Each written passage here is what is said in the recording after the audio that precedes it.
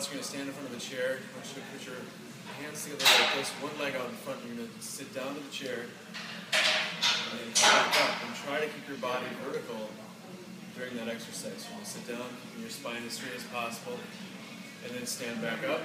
Go ahead and do 10 reps on each side. I want you to work on not letting your knee move in and out with this exercise.